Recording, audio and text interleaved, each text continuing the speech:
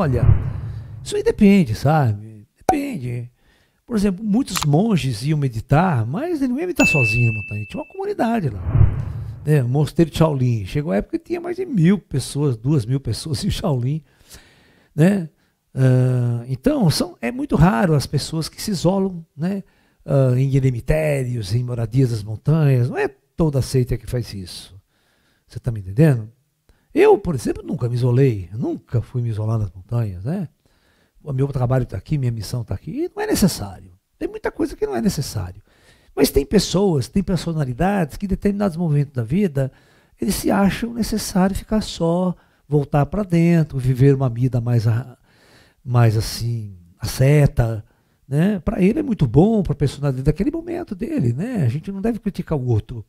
A gente deve ver o que é bom para gente. Se para a gente é legal, eu faço. Se não for legal para mim, eu não faço, mas também deixo o outro fazer, né? Cada um na sua. é como sexualidade, cara. Cada um curte a sua sexualidade. A gente não tem que ficar botando nariz na sexualidade dos outros. Né? Cada um vive a sua, a sua e boa.